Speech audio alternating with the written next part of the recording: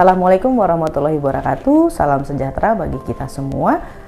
Ketemu lagi dengan Rensmark di sini, konsultan haki terdaftar resmi di DJKI. Kali ini kita akan membahas tentang hak cipta. Ya, hak cipta itu adalah perlindungan atas ilmu pengetahuan, seni dan sastra. Contohnya ya sekarang ini banyak kita lihat uh, bermunculan aplikasi-aplikasi ataupun program komputer ya baik dia digital platform maupun aplikasi yang di handphone. Nah, apakah itu bisa masuk ke dalam ciptaan? Jawabannya adalah betul. Itu masuknya ke dalam hak cipta. Bisa dilindungi melalui hak cipta. Hak cipta atas apa? Hak cipta atas program komputer berupa apa? Aplikasi ataupun digital platform ya. Lalu bagaimana cara melindunginya? Nah, cara melindunginya adalah dengan mempersiapkan persyaratan-persyaratannya. Apa saja itu?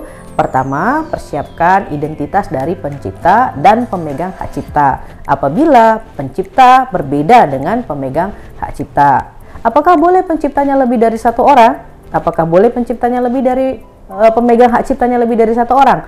Jawabannya boleh ya. Jadi tergantung uh, seberapa banyak orang yang menciptakan uh, hasil karya tersebut ya? Bisa juga uh, dua orang tiga orang empat orang begitu ya? Tentu yang nanti menjadi pencipta adalah orang yang menciptakan karya tersebut ya? Program komputer tersebut. Nah kalau dia individu lampirkan KTP-nya kalau dia badan hukum pemegang hak ciptanya lampirkan legalitas badan hukumnya ya Nah, disertai dengan apa? Nomor telepon dan alamat email dari si masing-masing pencipta maupun si pemegang hak cipta ya. Nah, selanjutnya siapkan contoh ciptaan yang mau kita catatkan dalam bentuk PDF ya. Kalau misalnya dia adalah program komputer yang berupa aplikasi, maka yang kita catatkan itu adalah manual penggunaan aplikasinya dan screenshot dari setiap aplikasinya ya disatukan dalam bentuk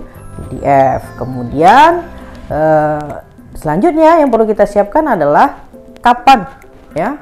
Kapan tanggal pertama kali ciptaan daripada software tersebut ya atau program aplikasi itu diumumkan ya atau dipublikasikan dan di kota mana. Nah, ini sangat penting sekali. Kenapa? Karena ini akan menjadi dasar mulai perlindungan hak cipta yang kita catatkan ya. Jadi harus uh, apa namanya hati-hati di sini menerapkannya ya. Jadi harus sesuai dengan kapan pertama kali kita umumkan ciptaan tersebut ya dan di kota mana. Contohnya misalnya uh, aplikasi uh, alat pembayaran. Contoh nih ya aplikasi alat pembayaran uh, ini di, diumumkan tanggal 1 Januari 2022 di kota Jakarta. Seperti itu ya. Nanti negaranya Indonesia atau bisa juga 1 Januari 2022 diumumkan di negara Malaysia. Misalnya begitu ya. Jadi tergantung ciptaannya kapan mulai pertama kali diumumkan.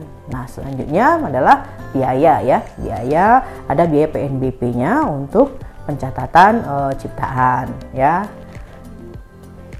kalau sudah selesai, bisa langsung diakses di secara online ya di e-cipta. Nanti bisa uh, cek di Google itu ada namanya elektronik uh, e-cipta ya. Bisa akses sendiri bisa daftar sendiri atau melalui jasa konsultan hak kekayaan intelektual. Nah nanti konsultan hak kekayaan intelektualnya akan membantu dari mulai mempersiapkan persyaratan hingga melakukan proses ya akses permohonannya dan uh, mengirimkan sertifikat berupa surat pencatatan ciptaannya.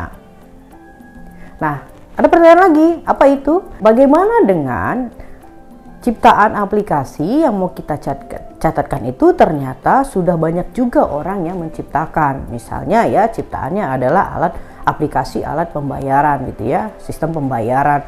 Nah, ternyata sudah banyak yang menciptakan. Apakah bisa ciptaan e, software kita itu dicatatkan. Jadi dalam pengajuan pencatatan ciptaan ya persyaratan hak cipta itu bisa dilindungi adalah originalitasnya. Jadi keaslian dari ciptaan yang kita ciptakan ya. Jadi bukan novelty-nya, bukan kebaruannya. Sepanjang ciptaan itu kita yang membuat, kita yang menciptakan, itu boleh diajukan, itu bisa diajukan begitu ya. Demikian dari kami, semoga ini bermanfaat. Silahkan uh, like, share, and subscribe ya. Terima kasih.